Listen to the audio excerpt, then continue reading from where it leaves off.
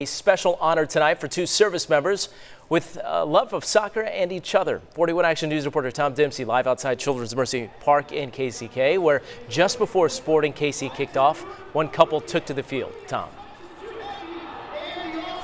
Yeah, that's right, Mike. A really exciting atmosphere here at Children's Mercy Park tonight. Around 20,000 people are in the stadium as we speak.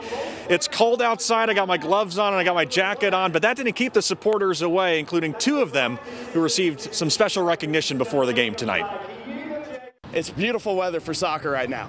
Beautiful weather. Let's go sporting! For some Thursday night Sporting KC game meant waiting in line for hours to get a spot in the supporters section. In the cauldron, you got to get a good seat to do the chants, yell with the fans. But for Steve and Abby Lanny, it meant to return to the stadium where they spent multiple anniversaries together. I grew up playing soccer. I love soccer, so being able to pull her into this, this is just a great thing. The two active duty Army members and husband and wife now stationed together at Fort Riley in Kansas. It's kind of how we are, though. I mean, everybody kind of jokes that we're Team Lanny. The couple making the two hour trek to Children's Mercy Park on Thursday. An experience featuring special tickets to the game and a salute to their service. Just being able to just be here, it's it's going to be great. The two invited on the field as part of a tradition of Sporting KC, the team they both love. Anything that you can think of that's positive is what this is for us. An experience for two service members and a moment for the husband and wife they could share together. This is what we do. I mean, this,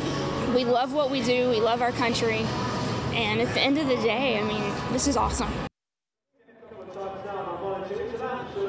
Again, a very exciting night right now, and obviously a very special experience for both Steve and Abby here at the Sporting KC game. Live outside Children's Mercy Park, I'm Tom Dempsey, 41 Action News.